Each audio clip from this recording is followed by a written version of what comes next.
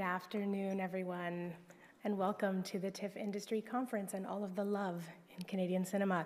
My name is Melissa D'Agostino. I'm the associate producer here at the conference, and it's my great pleasure to welcome you to this afternoon's session. Um, RDV Tokenizing the Film Industry is part of our RDV Canada panel series, which is supported by Telefilm Canada. And we at TIFF are thrilled to be working again with our long term partners, Telefilm Canada, on this exciting session and all of the panel sessions in that program. I wanted to remind you that uh, there is absolutely no photography or video uh, recording inside the studio during this session. However, not to worry because we are live streaming this talk in the conference, the entire conference, to our website and our YouTube channel. So, hello to our audience tuning in. Please feel free to share it and comment and let us know your thoughts as the panel goes on. And please do tweet about the panels. Um, you can do that using the hashtag TIFF 18 for the festival. Um, I'd like to start the proceedings by welcoming someone to the stage who's going to say a few words before we get the discussion going. So, without further ado, I would like to welcome onto the stage the Executive Director of Telefilm Canada, Christa Dickenson. Please welcome her.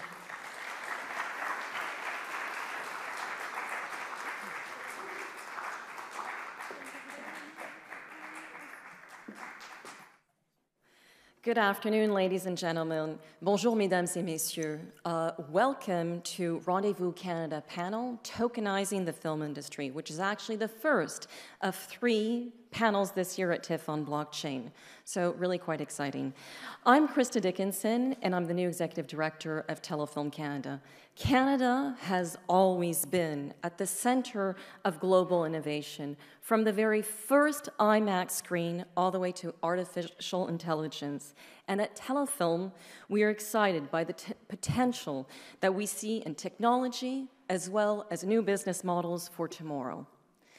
Telefilm fosters innovation and works to strengthen the position of Canadian talent in the marketplace as well as across the globe. Exploring new ways to conduct business, as well as empowering our industry with new tools to perform better, finding ways to reach more audiences, and sourcing ways to better protect our intellectual property. These are conversations and explorations that we stand absolutely behind, and we find them absolutely crucial at this intersection in our society. This is why we have partnered with the Canada Media Fund on a new research initiative to look at how blockchain can actually be leveraged by the Canadian television, film, and digital media industries.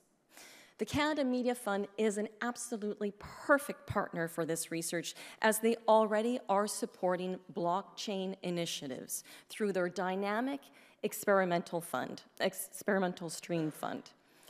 So thank you to our CMF partners who are with us here in the room today for our, your continued collaboration. The results of this joint study are not quite available, but they will be re released very soon, so do stay tuned. But now let's listen, let's learn together about the new emerging technology. And I'd like to ask Leora Kornfeld to come up on up, and she'll be moderating this panel for us. Thank you very much.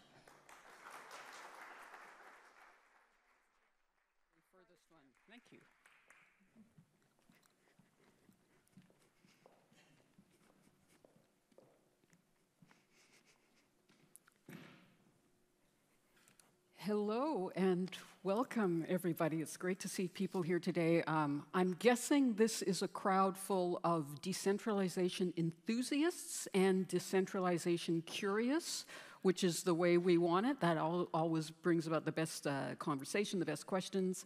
Uh, my name is Leora Kornfeld, and I'm honored to be here today to moderate this panel. We have three guests here uh, with varying degrees of jet lag, so I'd like to bring them out now. Um, producer J.D. Seraphine, who just got off a plane from uh, London. There he is. Come on out. and uh, he's Los Angeles based. We have um, Zac Skeith of the Toronto R&D Studio Three Lefts. And finally, Manuel Badel of Badel Media, who is a consultant and who will uh, tell us about the research project. So great to see everyone. Uh, could I just get each of you to do sort of like the book flap version of who you are and why you get to sit on this stage with us today? So we'll start with you. Um, it's a good reason. Why do I get to sit here? I'm grateful to be here. Uh, right now, I'm a producer, entrepreneur, uh, funded a number of entertainment uh, slates as well as independent films. Right now, my production company is producing the Atari movie uh, with Leonardo DiCaprio and Appian Way, and we're funding it with the issuance of a security token. So we spent the last year deeply exploring the best way to do that. So I'm here to share, you know, my knowledge, insight, and experience, and, and what we're doing with that project. Great, we'll get into that. And Zac? Um, hi, um, I'm from Three Lefts. We're a about 11 person uh, consulting and venture firm around uh, enterprise blockchain solutions, and we partnered with the Groupe Média TFO to build the first um, middle to end blockchain solution for the media industry um, earlier this year. And this is my third panel and event with Telefilm. We were, first, we were in Berlin at the Berlinale, and then we were at South by Southwest, and now we're home in here in Toronto. So we are excited to be here. And oh, you got some serious blockchain frequent flyer points. Yeah, exactly. Yeah, okay. yeah. That's good to hear. And, Manuel. and we can track that I own it too, so it's good. Ah, okay, Manuel.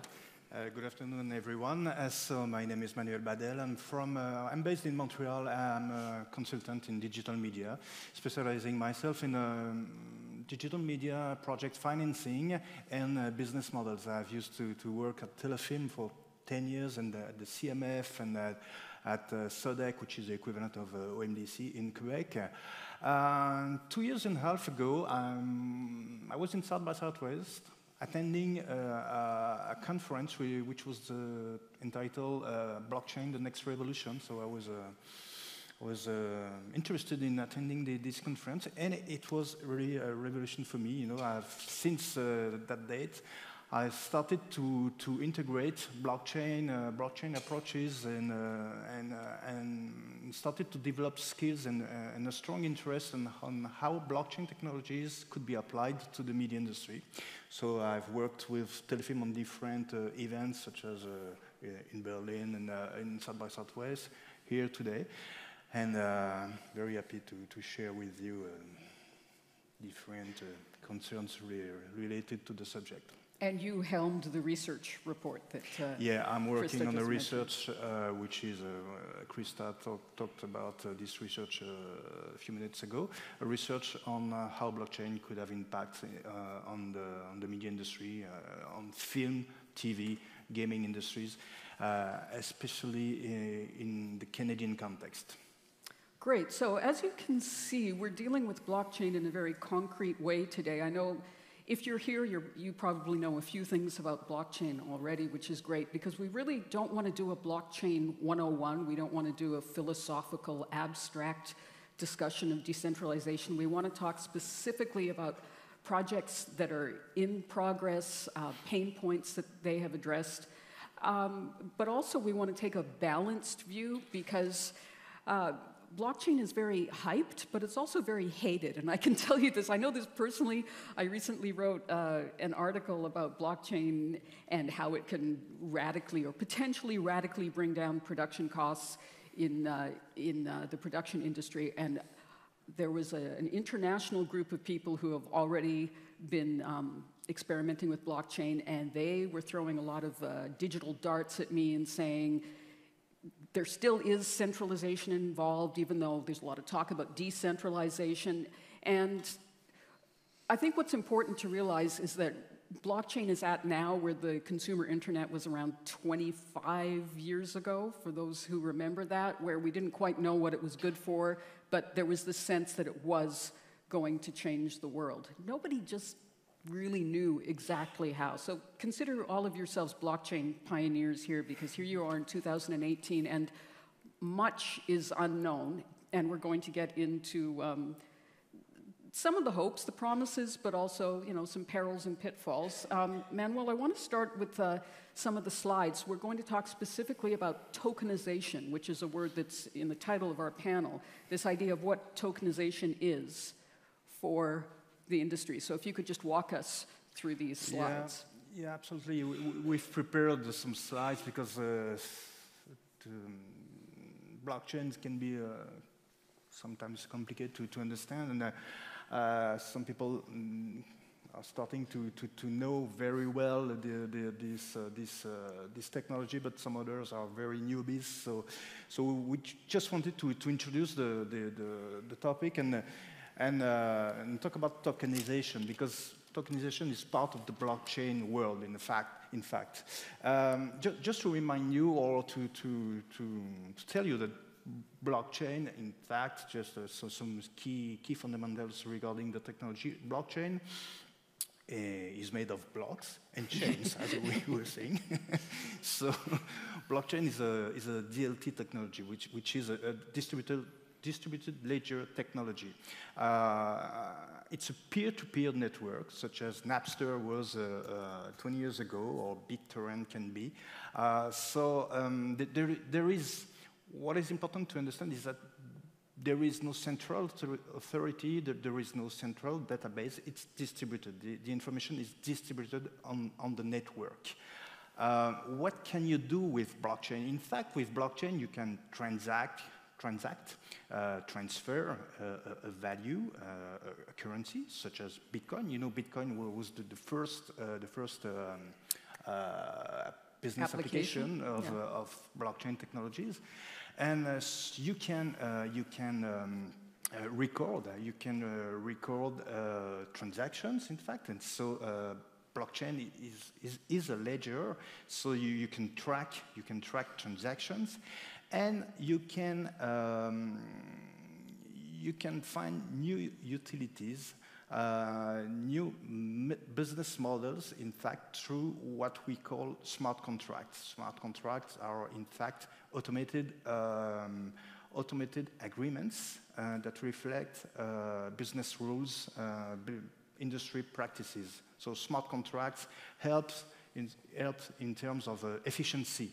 Uh, and uh, so these are different concepts that are very, very important to, to, to understand when we talk about blockchain. And um, um, so tokenization. So I was talking about smart contract. Tokens are kind of extension of, of, uh, of smart contracts. So tokens, uh, a token is a digital asset, as it is uh, uh, written on this slide. It's, it's a digital asset, and uh, through tokenization, you are able to give a, a value um, through this token to uh, uh, uh, an asset which can be a project, for, for, instance, a film project. You can okay. chop it up into little pieces, basically, exactly. that have a representation in a digital you, form. And so you can have yeah, small pieces of an asset, which which can be, uh, as I it was can saying, be real estate. It could it be real estate. It could be could be a, a, a painting, for painting, instance. real estate, it could be movie. a film. Yeah. Could be a, could be a different. Uh, you know, there, there are a lot of applications of blockchain in different industries. So, token is a is a digital asset, and uh, tokenization. So it's the act of convert converting an asset. In, uh, it's it's it's a way of digitizing uh, an asset which can be physical. You know, at the very beginning of a, well, not at the very beginning, in fact, internet is about information. Uh, with internet, we've been able to, to digitize um, uh, information, communication. So now we are able to digitize assets and so value. Let's take a look at the next. Uh, so you, yeah, for the next uh, next slide, you, you have different kinds of di different oh, kinds of tokens. Uh, the previous there it is. Yeah, and uh, with uh, JD, we were going to talk about the different kinds of, uh, of, of, um, of, tokens. So very quickly, you have, in fact, when you have a token, you have an utility which is, which is related to this token. In, you, you are creating features, functionalities, and so a value related to the token itself and, uh, the, and, uh, the, and the asset and the project itself. So uh, you can have a utility token, Transaction token are a way of um, as it is said, uh, you can convert, in fact, tokens in other uh, cryptocurrencies, other tokens, so you can exchange. Uh, tokens are supposed to be liquid, and you can you can uh, you can uh, you can use them in order to to to create value and uh, to um, well to create value in fact. And so you have security token, which uh, which may be the more um, more. JD uh, can go into detail yeah, yeah. about we, this we have because some he's, issues he's with, with security tokens because yes. security tokens are considered as uh, as uh, investments in a way. Uh, there are titles. So when you, you, you, you when you have a utility token, it can be used uh, for different us usage, but a security token is more considered as uh, an investment which can be more complicated with the regulator, in fact. Right, and I think something else that we need to establish is that one of the, one of the big promises of blockchain is that these exchanges of value can happen without a third party or central authority. And the idea is that this blockchain system where things are registered and immutable, which means once they're there, they can't be taken down, that's where the records are stored. So the idea is, in its pure form, that these, these value exchanges can be done without intermediaries. And for these reasons, there are potentially huge uh, reductions in um, costs and time and all sorts of efficiencies. I mean, that's what people are hoping for. And so uh, this is a curve the, that represents uh, the evolution of ICOs. ICOs are initial coin offerings. In a way, it's, the, it's, it's a way of, of attracting investors to finance a project and then tokenize uh, this project because when you invest in project, you get tokens, and these tokens have, have value and can be utilities or securities. So the, you know, the Singular DTV, which is a, a, an American company, which is, I don't know if some people of Singular are here, but they are one of the, of the, um, the, the, leaders in this industry. They, they started to, to, to, to, to develop the different tools for the, for the media industry. Um, so the, it's very recent, you know, three years ago. Um, one of the uh, very interesting Canadian uh, project or platform, in fact, is CryptoKitties. CryptoKitties is. Has anybody heard of CryptoKitties? It's the biggest the, the, game on the blockchain. Yeah, yeah. it's incredible. It's a company based out of Vancouver that started it, and uh, people are paying up to six figures for digital yeah, cats. Absolutely. I think that the, yeah, the, the, highest sold was uh, 140,000 for uh, a unique kitty, in fact.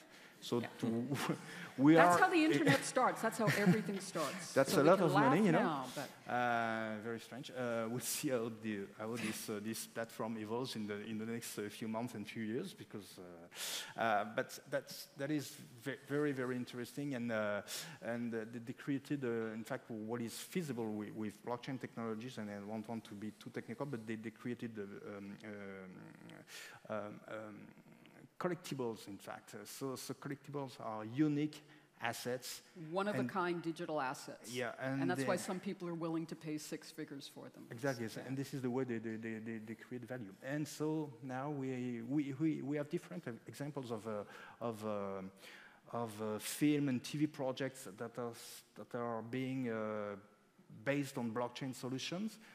One of them is the, yeah. the Atari well, on the biopic. right of the curve there, we see a reference to Atari, yeah. which brings us to JD. You can tell us all about the project that you're doing. Um, you're out there. You've got to be one of the first people to be financing a film this way. Is that right? Yeah, there's been uh, a few small projects that have done it. I think we're the largest film to date that's that's blazing a trail up this mountain. Uh, you say that with a nervous smile, well, too. I like that. Because I stepped out. I, we, when we, a year ago, decided we were going to go down this path, it was really driven by the desire to have uh, the community, you know, the Atari gaming fans, gamers around the world, have the opportunity to invest in the movie. Because from my perspective, and I've had some experience with crowdfunding in the past and having that same community that was invested in the movie helped drive the marketing of the film in a, a dynamic and, and, whole new way. But I wanted to take it to the next level and say, you know, don't just pre-buy the movie, but can they actually own a piece of the film? So we were looking at equity crowdfunding. It lacked like certain dynamic qualities uh, that we were looking for, and this is right around the time that ICOs really took off. And so, you know, that brought me down the rabbit hole of looking at crypto and blockchain and you know, we decided early on to do a security token and then also to develop some, you know, some other things to help drive the marketing around utility tokens and stuff. So, what is the big difference between equity crowdfunding, where you own a stake, and what you're doing with the Atari movie? Well, I think really the main difference is the using distributed ledger technology or the tokenization of that that asset or that share. So really, all we're doing in terms of the finance structure, just to simplify it for producers or investors in the room, is we're selling shares in a corporation that are then being digitized and then put on a public blockchain on the Ethereum blockchain so that depending on an investor's jurisdiction, once they're, once they're eligible, they can resell that in a liquid secondary market. So there's a number of security token exchanges that are in the process of being built, getting licenses, going live, T0, Open Finance Network, Hyperion. So one big advantage for a producer and for financiers is the opportunity to not just invest in a movie early and have your money locked up for 18 to 24 months, but to create liquidity at a much earlier stage so that if you buy into a project, say at 10 cents per share, whatever that, you know, that unit is, and because after the fact, you know, the, the film attaches a big star or locks a big distribution deal or et cetera, et cetera, the value of that unit could go up. And you as an investor who came in early could realize the value of, you know, the risk that you took on by investing early. So I think there's the advantages of liquidity, there's the advantages of accountability and transparency. So, you know, I, everybody talks about movie accounting like it's notoriously shady. I mean, I think there are people that um, do behave badly, but I think a lot of times it's just inefficiencies in the process. And I think there's other companies in the space, you know, uh, that are focused on developing blockchain-based solutions that will help to root out some of those inefficiencies. So I think that accountability and transparency. So for us, having investors have the ability to, you know, see when there's a distribution to the collection account and see that the token holders all received X amount of what they were supposed to receive. So, and then after that, it's really the biggest value is having a community built around the film that can ultimately help to drive the film's success. So those were the factors that drove us down the path of basically creating a, a security token offering or an STO is what okay, they call it. So if I was bold enough to say I want to invest in your movie, would I be allowed to? You have to have accredited investors or how does that work? You've got different types of investors, right? Well, it depends where, where are you from. so it, it's it's right now in the U.S. we're using Reg D 506C what for accre- accredited investors okay. to invest uh, Reg S for overseas or international investors, non-U.S. investors. That would be me. And, okay. And then Reg CF for uh, up to a million dollars in unaccredited investors. So, and that and that portion of the round will actually happen in what they call a crowd sale in in terms of ICO terms. So we're in a private sale right now, and most of the funding is being raised through a private sale. Um, but we were going to utilize the public pre-sale and the crowd sale as a way to really begin to build the marketing momentum around the movie and build a community around it, which is really, I think, the biggest benefit. Because already you can, you know, you can raise financing in a variety of techniques, but and there are some advantages to using blockchain as it relates to a security token. But to me, the biggest advantage is getting a community invested in the movie that will help to really drive it to make it a success. Okay, now Zac, this brings us over to you because as far as I know, there is no country in the world that has figured out like the full, he's going, no, they haven't, the legal and governance issues. Mm-hmm. Because, for example, if I own a digital token for a piece of real estate, I know this is happening somewhere, this is one example, and I own the digital token, but I don't own the piece of real estate, right? So there's a difference. So, can you just tell us about where things are going with legal and governance issues and ways that investors mm-hmm. can be protected? That's a great question. And I think a great example is I'm not going to name a name, but it's very easy to find online that there is a very large, one of the largest ICOs a couple years ago raised between 200 and 300 million dollars that are currently facing a class action lawsuit because the way that they set it up is they used a a nonprofit foundation that everyone who was buying access to their network and to their organization was basically giving a donation and now they're trying to figure out what's going on and no one can get their money back and the OS. Was it designed that way, you think? Was it meant to be a scam? I don't want to be held liable for okay. any defamation or anything, so you guys can. I'll take that as a yes. You're all criti- critical thinkers, so you can. Um, but I think a really interesting conversation is around, you know, there's a very strong understanding from the growth of the cryptocurrency market from the beginning and where the culture grew from. And you understand the, the place of where cryptocurrencies decentralization came from.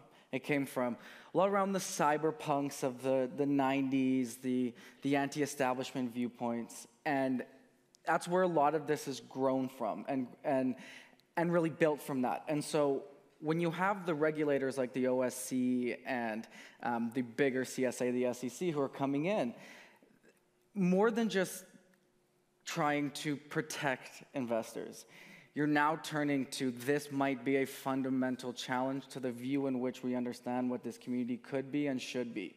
So that's a huge issue that we're, we're trying to solve as a community, just in general, um, around the blockchain space, because where the hype is right now. Everyone wants to figure out where they can make their money and, and work. OSC has been very reluctant at the moment, as one with most countries. And that's um, the the Ontario Securities, Securities Commission, Commission, yeah, in yeah. the province to understand. So what are these tokens, the difference between security and utility and all these different tokens, where they come from, what they mean. They do have the, the, the Howey test, the Howey test about what is an investment. Um, am I investing in it for use, like a movie ticket or a pizza coupon that I can go exchange for the pizza? Or am I investing in it hoping that you know, they might be able to secure a big distribution deal and the value goes up, and so I'm investing, maybe diversifying my portfolio. It's still very early on, as you said, at the beginning about where we're sitting in this, in this um, sort of ideological battle around decentralization and blockchain, that precedents and all that don't really want to be set right now because we don't know where the, everything's going. So right now, it's a lot of gray area. And to understand is really on an individual project by project basis to understand like the Atari of going through the securities to go through to get make sure that at least there's regulation behind it that they can set and where investors are protected because at the at the core that's what everyone, even the government, that's what they want, no matter what you really view of the government. It's to protect the investors that if I put in all this money, that there's somehow you know, prospectus, anything like that, that the value of what I'm investing in is not just going to be taken and just run with. Yeah, and um, if something goes wrong, that you have the ability to sue somebody. Yeah, that's really that someone can be held yeah. accountable for yeah. something. So that's really where the legal space is right now around tokenization. I mean, tokenization isn't new. Tokenization, encryption, idea of taking data and um, changing it to a large number that can be held has been around since credit cards and, and for a long time. But how the change between on-chain versus off-chain of holding some sort of asset. Can you say a bit more about on-chain versus off-chain? Well, that's important. Basically, exactly what you said around I own a house, or I now own twenty-five dollars of a million-dollar house. If it gets sold for one point or two million, do how do I know that what's off the chain, which is who held the the, the deed to the house, versus what's on the chain and that value? Um, there's still conversations about how that is legally going to work. What's the legality of, of smart contracts and, and agreements between individuals on a regulatory side? That you know is still kind of up in the air and seeing where we can go from there. Right. Now, Manuel, in the course of the research project that uh, you've been doing, you've been looking at applications keeping the Canadian industry in mind and how the media industry can benefit from blockchain. We've, we've heard a bit about the possibilities, we've heard about some of the perils. So, what can you tell us about what you've found in your research about um, areas that, that, um, that we think can, can offer producers actual benefits? Well, um, um well, the research will be published soon in October. so more details. Don't give uh, away too much, yeah, just a little, like a trailer. Yeah. Uh, well, in fact, um, we've identified two families of applications and six applications in a way. The first one, the first family is about uh, right management, and the other one is about uh, business models, and particularly new business model, what we're talking about right now, and we, with this kind of example, this kind of project, this is, this is typically what we're talking in the, in the research. Uh, the first family, the uh, right management, you know, blockchain could have, um, could, could have positive impacts in terms of IP protection, uh, intellectual, intellectual, property pro protection, uh, digital right management, of course, and also collaboration. You know, uh, collaboration. I was talking about the, the, the first, uh, the first um, uh, workshop or conference I attended a few years ago, and it was about how blockchain, it was about a solution um, that was uh, uh, improving how different script writers could collaborate on the same script, and how contribution, contribution of each other could be, could be tracked in a way, mm. and then um, recognition could could be could be uh, could be consistent with, consistent with uh, all the, these contributions. So, so in a way, when I'm talking about co uh, collaboration, it could be very interesting in terms of uh, co-productions. Uh, for instance, when you have different teams from different countries that have to, to collaborate and work on, on the same project, uh, people that that are maybe not used to, to work together, but, but this could be very interesting because you can track each contribution. You, you can add um, uh, permissions to, to, to, you can have uh, nodes. In fact, people uh, on, on the network that could validate and authorize the, the different, uh, different tasks or different decisions and uh, it could be very interesting too in, when, when, you, when you have um, transmedia uh, productions. For instance, you, you produce something on TV and you have, you have uh, the, the digital component which is related to, to, this, to this production. The other, the other aspect, which is more related to the Atari biopic, is, is the, the, the, the way you can um, um, when I'm talking about new business models, uh, blockchain is about disintermediation. In fact, you can transact and, and transfer to, to, to, uh, from A to B without uh, an intermediary. Uh, this doesn't mean that distributor will disappear, or, but roles can change. The rules know? are changing. That's yeah. the thing that I got attacked about when I wrote that article. Was people were yeah. saying there's just new intermediaries that enter the picture. Exactly. Yeah. We, we don't know exactly uh, for now, but uh, it, it, will change for sure. So if there is a disintermediation, there is a potential for uh, creators to, to, to directly sell, uh, distribute their, their, their, creation. I think that the, the question of the, the, promotion, the marketing is not resolved. It could be through tokenization, you know, but it's another part. I think that blockchain is more about transactions than marketing for now. Uh, the other, the other um, uh, business, new, new business application that, that I see in the second family uh, are, um, so I was talking about content distribution, um, financing, of course, through tokenization, and monetization of content, okay, through cryptocurrencies or fiat currency. And the, the third one in this family is about, and which is, I think, one of the most interest, interesting in, in, the the short-term perspective and which is related to digital right management is how you can improve royalty payments and uh, investment recoupment, which can be very interesting for uh, funding agencies such as Telefilm Canada, the CMF, and other uh, provincial uh, agencies. Or, and this is very interesting because you can track this is, I think, in, in the That's research, uh, yes. when we've talked with, with stakeholders in the industry, the potential of traceability of blockchain is maybe cent is central and maybe most interesting in the very short term because you can track how uh, content are, are, sold, and then you can track revenue, etc. So um, right, there's a famous, there's a big lawsuit going on right now that some of you may have heard of. That the band Spinal Tap, a favorite of all of us, I'm sure, they were told that their revenues between 1998 and 2016 were 81 dollars.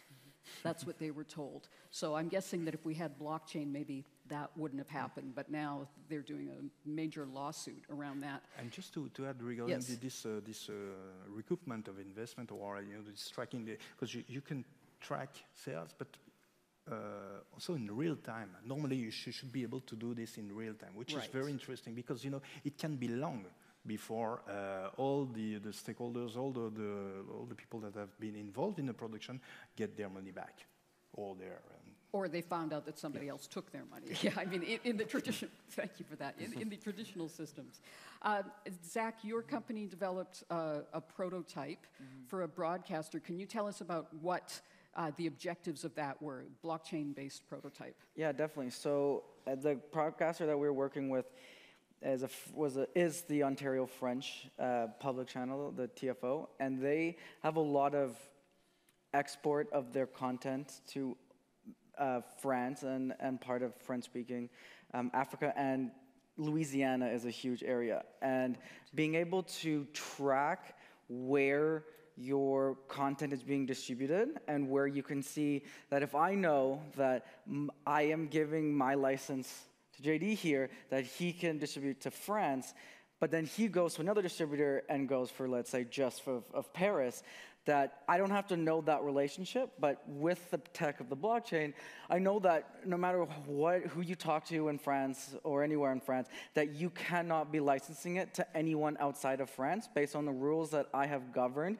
based on our original contract, because every contract talks down the chain. So if it's distributed 10 times, 15 times, 20 times, it might get lost in the current system and not quite sure where it's being played. Uh, even in uh, Berlin, we had the same conversation where filmmakers come to us and said, distributors would come to us, my film has been, was out in the world for two years, and they came back and said it was never played once. And I couldn't fight whether or not it was there. I was too small, and I don't have a big enough legal team to try to fight it. So how can I use this technology to, you know, get uh, better contracts? Um, compliance contracts with distributors that I know every time it's getting played, and then I can pay every, all the actors, whoever gets points on, on profits or whatever, uh, instantaneously based on the, the, the numbers that I have. So that was a big aspect of it that they were really trying to try to push.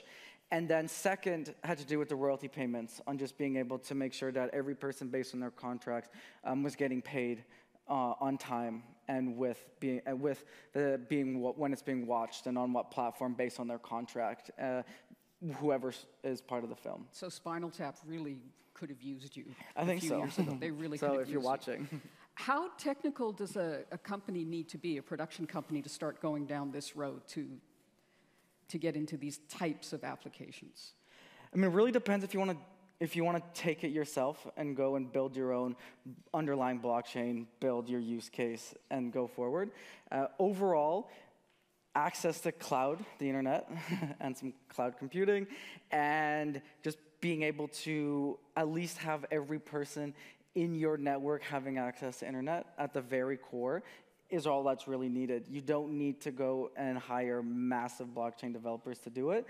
Um, right off the bat, A, because there's a shortage of them and they're quite expensive. Um, and there's a lot of companies out there that are working in this space that have uh, enterprise based. And it's basically just a large supply chain, really, of, of what the, the film system is.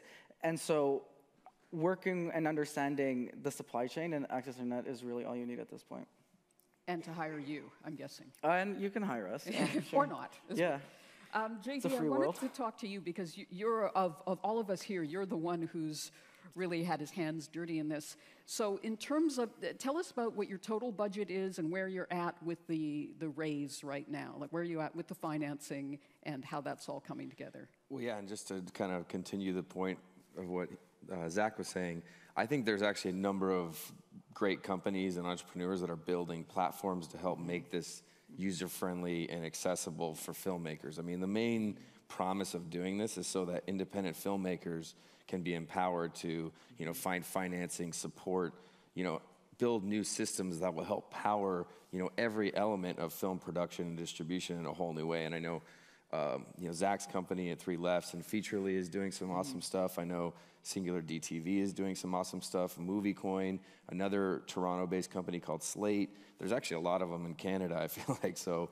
Uh, there's a lot of companies actually that filmmakers can go and look at and talk to if they're interested in exploring how this could, you know, help uh, power what they're trying to do with their movies. Now, in terms of our film, the production budget's about $40 million. Um, we're about 10 million of that is soft money. So we're obviously still going to monetize that in a very traditional way. Uh, we're doing a, a, blended structure, so we're actually raising up to $50 million through the token sale. And the reason we're doing that is we wanted to co-finance the P&A so that for token holders, we could create a 50% adjusted gross receipts corridor so that token holders aren't waiting at the bottom of the waterfall to get paid. They're getting paid from dollar one adjusted gross right at the top of the waterfall. So that's something that you know, based on my experience with film finance, I wanted to do that so that one of the first big films that uses this approach was on some level successful for, for people who were buying these tokens or who were investing. So that's basically the, the general structure. It's very simple, it's very straightforward, and very transparent. So, And what are you hearing from investors? well, generally we hear yes, and we hear a lot of excitement, which is good. But um, we're, we're kind of focused in a few different areas. We're focused on people who are already in the space and companies that we're talking to that, you know, understand the movie business and understand what's novel or different about how we're approaching uh, what we're doing with this film. And then we're also talking to a lot of, you know, larger investors in the cryptocurrency space. So uh, entrepreneurs, guys who have been very successful in the last two, three years, who are interested in diversifying into like a security token or getting into the movie business. And so I think for filmmakers to look at that too, or producers, that there is a new pool of investors, you know, in the cryptocurrency space, and these are people who have built up asset bases that would be interested to invest it in diverse ways, you know. And I think everyone loves movies, everybody loves entertainment, so I think the opportunity for investors in the cryptocurrency space to invest in movies is, you know, is a no-brainer. So. Let's um, open it up to questions. We've got about 15 minutes, and I bet there's lots of questions. I saw a hand over there, and a nice person in an orange shirt is coming to you.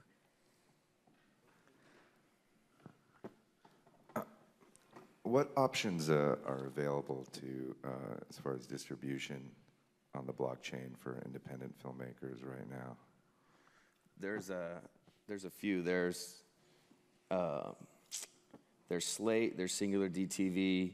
Um, there's a few companies that are developing platforms. They're relatively new. Um, what we're doing with our film is we're kind of combining traditional a traditional approach to distribution with non-traditional ideas, and everywhere that we can, we're trying to incorporate new techniques or new companies. Um, but there's you know, it's still pretty early, to be honest. Like, I think that the companies who are building like blockchain-based distribution platforms, I think they have a lot of great ideas. I think it's a very challenging hill that they're climbing, um, especially ones that are like, we're going to be Netflix on the blockchain. It's like, well, Netflix is spending, you know, eight billion dollars a year, and there's so much content that they have, and um, so for users, you know, the value proposition of pay ten dollars a month and get access to that library versus what you know the some of the newer platforms has is different. So there's there's also one called Alpha Networks, which is exciting, which is using uh, IBM Watson uh, to power uh, a dynamic pricing model. So like if you're in Finland or if you're in the U.S. or you're in Canada or if you're in Japan, different prices for the same content might apply. Um, so there's a lot of exciting things people are developing, but it's still very early in terms of you know what's alive and available and ready to to scale. Now the exciting part of that is as a filmmaker, you could jump in with a movie, and if you can figure out the right DNA of how to market it and how to get your community around it. Um, and we did this with a documentary six years ago. Where we did over a million dollars in sales in the first week and a half on independent documentary with no marketing budget. Was that the UFO one? That was the yeah, yeah. it was an, an extraterrestrial conspiracy doc. Good communities with the UFO people. Well, and I, the best. yeah, and I think that that's part of it. But Yeah. the point is, it was a it was a transactional VOD release on a new platform that nobody had used before, and we were able to figure out a way to use the technology they had built to roll out a very successful distribution that we were running ourselves. There was no studio, there was no you know big push from anyone else. So I think for filmmakers, looking at the technology that some of these companies are building and identifying, is there a way that you can, you know, because ultimately it's you still that's going to be the one that cares the most about the success of your film. So is there a way you can utilize, you know, the tech that they're building uh, to make your film a success? Thank you. There was another question over here, and here comes a mic to you. Well, I present one of those companies that are live. Uh, it's um, uh, Cinema Welcome. That's the name of the company. Uh, we uh, made the whole production. Uh, we made a premiere at Cannes Film Festival.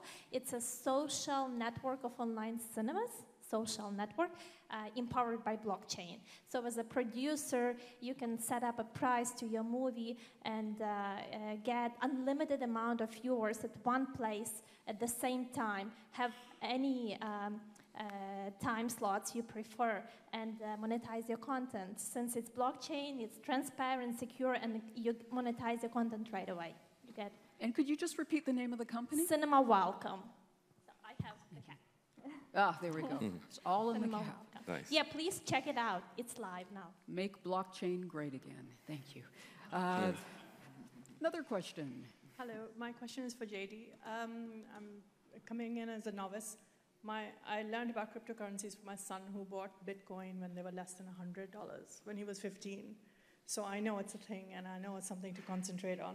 I have a couple of questions. One is uh, you, who determines the value of the token as the film progresses down its path towards uh, eventual screening and sale? And secondly, you talked about early liquidity. Now, I'm assuming this is some sort of an exit strategy for your investors. Do the investors then exit to another peer to peer transaction, or can they actually cash out at that point? Well, good, good on your son for getting into Bitcoin at under $100. Um, there's, in terms of the value, that will be determined by the secondary market. So it's really about, just like any secondary market, supply and demand. Um, and the security token platforms are still relatively new, so how that pricing of that is driven, you know, we're still tweaking and working out. There'll be a price that's set in the in the private sale, the, which is happening already. Price is set in the public pre-sale and the crowd sale. Um, so as you know, the hope is as that goes up, the people who are investing now early in the private sale will, you know, reap the benefit of kind of taking the early risk, so to speak. Um, yes, they will be able to cash out when they you know, they unload their tokens on a security token exchange. Now, some of those exchanges might have the ability to diversify their interest in our film into another security token or into another uh, cryptocurrency. And through those platforms, um, they'll be able to, if they choose, liquidate, um, you know, liquidate for fiat currencies. I would imagine that would then be wired directly to their specific account. So, and that's different than when token holders actually receive a distribution uh, from a collection account. So basically, we set it up as a Wyoming corporation because in the U.S., the Wyoming is kind of on the forefront of uh, passing friendly uh, blockchain regulations.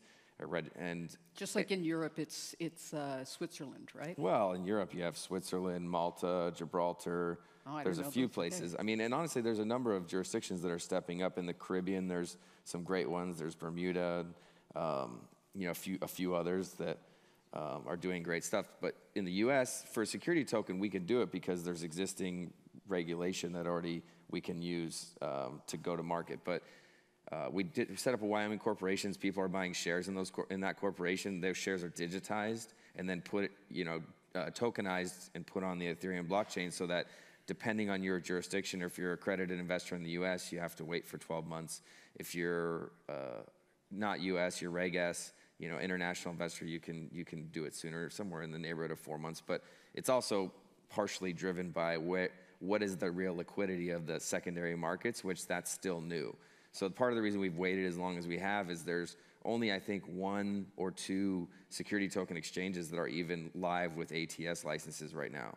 So, and that's a license to be able to essentially be the intermediary for that transaction that you're talking about.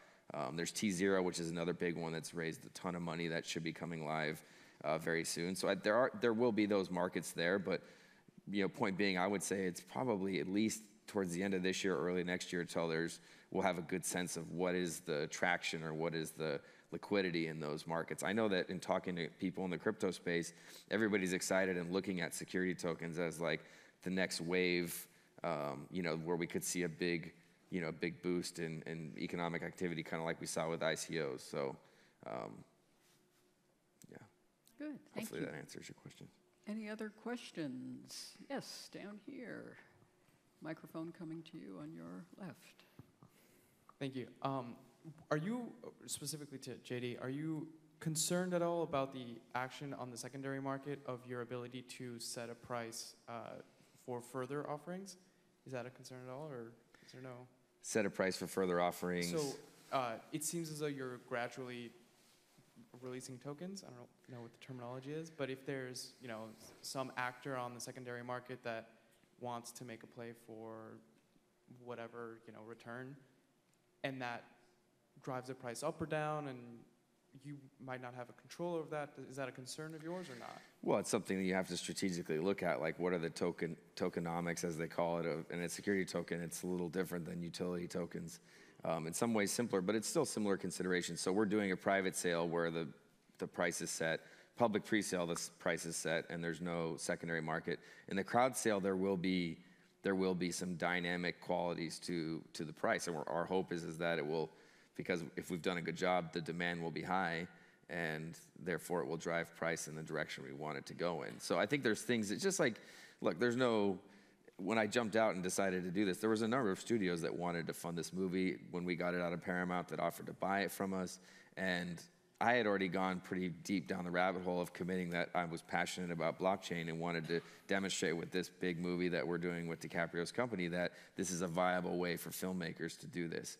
Um, so there's no guarantees that you know that we're not going to you know knock our head or skin our knee or make some mistakes along the way. I mean, we definitely will. But as entrepreneurs, you do your best to just create a strategy so that um, you know, that we get the results or the outcome we're looking for. And I think that when we get the community engaged, like once we get to the crowd sale stage where you have 2.7 billion gamers around the world, and Atari fans are like so passionate about the brand because that was their thing, you know, as much as I'm, I'm more of like a Nintendo guy because I'm a little young for Atari, but for Atari fans, that was their, they're so passionate about it. So when we get that community going around the project, which hasn't even happened yet, I'm confident that the secondary market will be, will be strong in terms of the value going the right direction, so.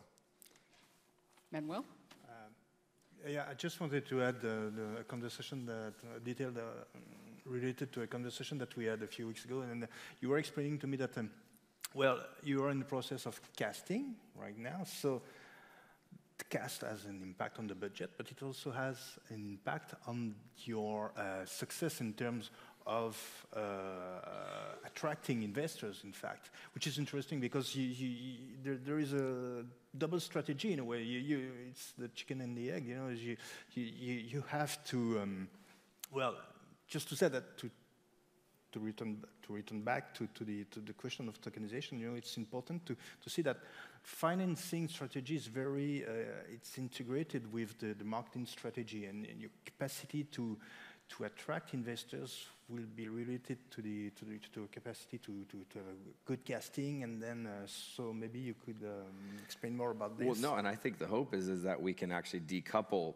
those variables to a degree because that's i'm sure as producers or filmmakers in the room will attest it's one of the great frustrations of being a filmmaker is if you constantly feel like there's obstacles that are put in front of you that keep you from just creating your vision i mean my hope is is that there's new models and systems that would be built so filmmakers will be able to focus on expressing the divine creative vision they have for their movie or their TV series or whatever it is. In our case, because of the level of the budget, as a producer who has the fiduciary responsibility to be smart, I'm, you know, even though our investors are not demanding that, oh, you have to have Tom Cruise or we're not giving you the money. It's not like that.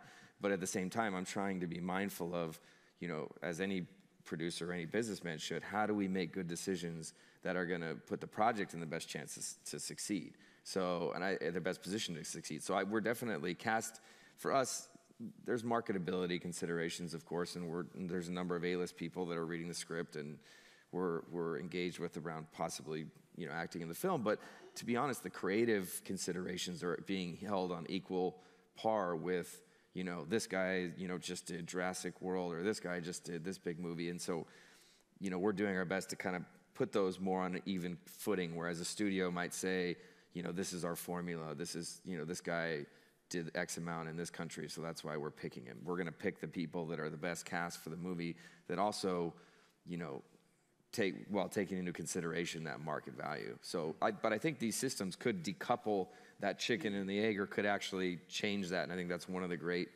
you know, potential outcomes that could happen if if entrepreneurs are building the platforms, you know, like Zac and others can do so in a way that you know creates a new model because when community can drive it when community can invest and say we're going to put the money in because we believe in this filmmaker we believe in this idea we believe in this project it changes those dynamics all of a sudden the actor and i'm not to say actors are important but the power that they have to say well we're, we're going to be the ones that decide or agents saying we're the ones that are going to decide whether a film gets made or not to me you know they're, they're some of the intermediaries that need to be uh, you know put in check to some extent Okay, we have time for one more question back here.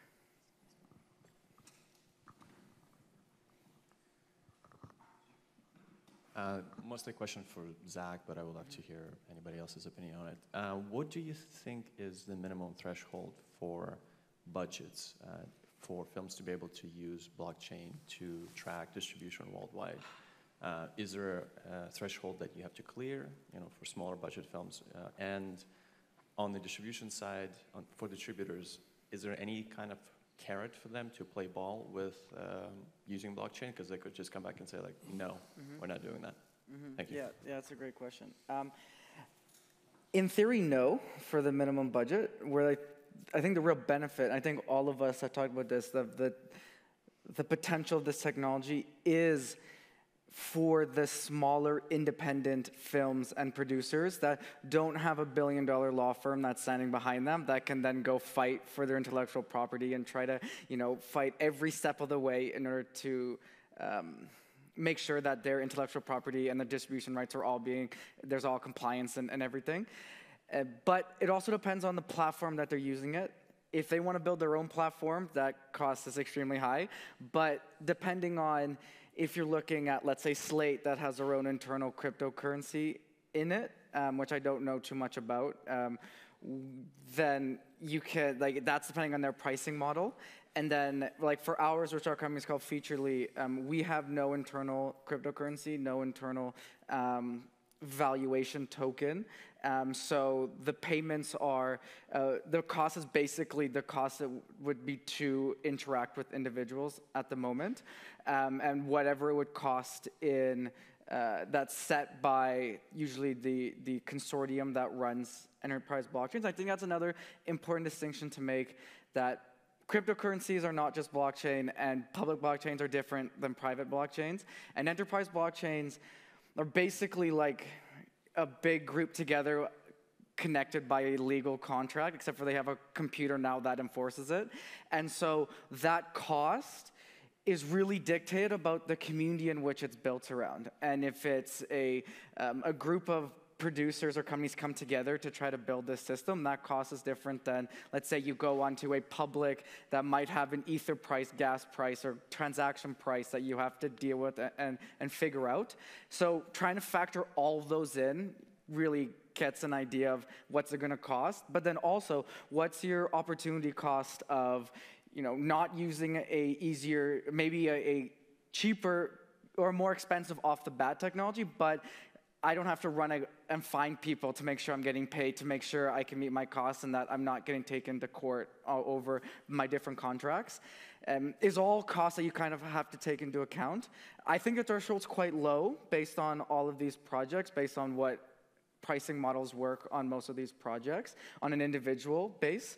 Um, but again, as Jay said, it's very new, so these, these costs are changing quite a bit and also depends on the underlying blockchain. We're on one called Hyperledger Fabric. Um, there's also Ethereum and all these different ones. And then, yeah, so that's really the, the minimum threshold. And your second part of your question? What? Oh yeah, for distributors, yeah. So that is a big that's a big uh, question, and it's also a big question we have with big enterprises on why would I use blockchain if that's supposed to bring transparency when I make a lot of my money on the opaqueness of the current economic system. And in the in the way that a lot of these systems work, there's really built on consumer growth, and where we see in the in the distribution carrot comes from uh, the IP holder that if I have a really awesome film and they want distributors want to distribute my film, then I force them to use it. Or we connect with other systems on outside the distributors to force the distributors to play. Because at the moment, there's really not a lot on the incentive side of these systems in the same way that Walmart for a supply chain would use this rather than people who are consuming it or at the, the end source or the beginning source in order to only deal with people that, that uh, use these systems. Uh, so for the IP holder, it, this is more towards, like if I'm the film owner for a bigger film, so it's a film like, let's say, Atari that a lot of people want to use, that a lot of distributors want to distribute, but then forcing them to, to use the system. Um, on the consumer side, uh, con- for the end or end users like Netflix or whatever using their money to force companies in the same way that consumers are forcing uh, companies to disclose ESG reporting and you know uh, anti-slavery sides uh, to really try to force the whole chain to get on board. And if you don't come on board, then you can't be in, you can't be within our our system. Uh, is really the economics kind of right now, which may not be sustainable, but they're growing and I don't know enough projects to really make a data point prediction on how it's going to go. Okay, thank you. And we're a little bit over time. Thank Sorry. you, everybody. And like I said, all blockchain pioneers and our wonderful panelists. Thank you.